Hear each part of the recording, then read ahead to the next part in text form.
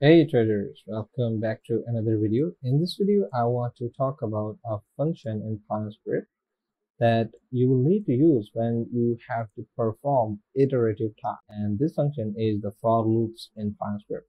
So if we just go ahead and start talking about the for loop, then let's understand the for loop by calculating the simple moving average of the candles within a given period. For example, if we want to calculate the simple moving average of the last 14 candles, then what we would do is we would take the close of all these candles, all these 14 candles, and then divide them by 14 to get the simple moving average.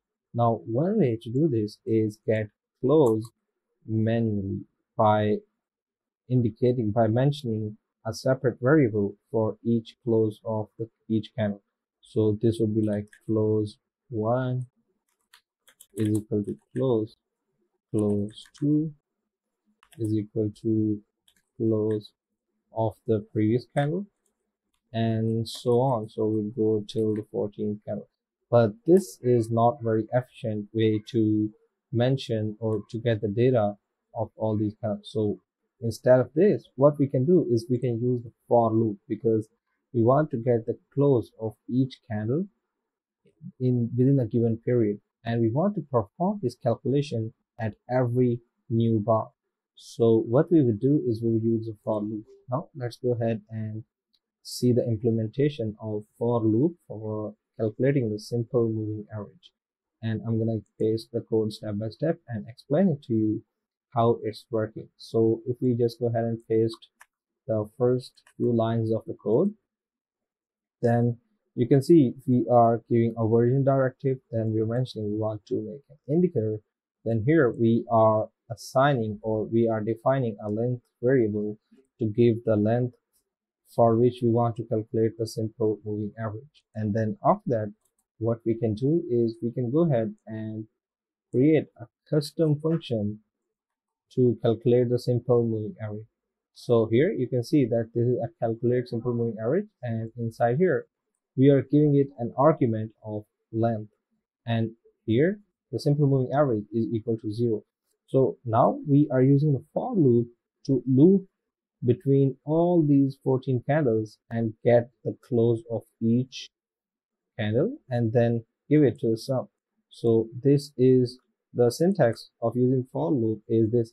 First of all, there should be variable declaration. And then here we have to mention the counter and from and to number. And then after we can also give a step. Giving a step is optional. So here you can see for, in this case, the for, let me just decrease the size a little bit. So you can see here's the for, here's the counter is equal to the from number and then to length minus one and then we could give it a step and then it would take that step. For example if i give it a step of two then me just go ahead and mention the step inside here by two. So now what it would do is it would start at zero then it would go it would skip the one and go to two. And then after that in the second third iteration it would go skip the three and go to four.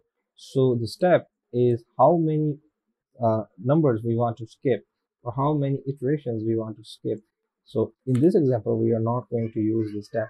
So now let's go ahead and here you can see that we are giving a sum variable. We are reassigning it a value of sum plus close of i. Now i within each iteration will be different. For example, for the first iteration, the i would be zero and we are getting the latest candles close. In the second iteration, the i would be 1 and then we would be getting the close of this candle. Similarly, in the third iteration, the i would be 2 and we would be getting close of this candle. So that's how we would go till the 13 candles and we would be assigning this to a sum and then here we are dividing the sum by length to get the simple moving average. Now let's go ahead and plot these results onto the chart First, we have to call this function that we have created. So we have created the SMA value function. And then here we are calling this function on this length that we are taking as input.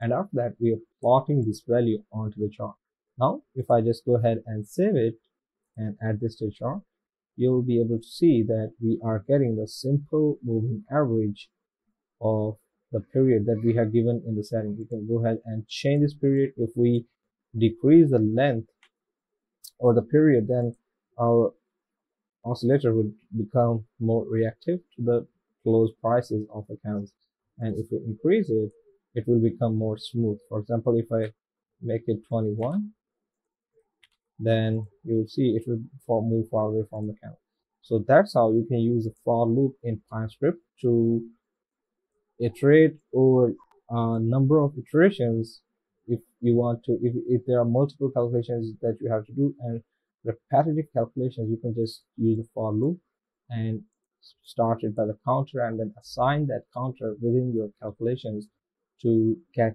all the data that you need for those iterations. So i hope you like this video. If you have any questions please comment down below. I would love to answer them. Also don't forget to like share and subscribe. See you in the next video. Thank you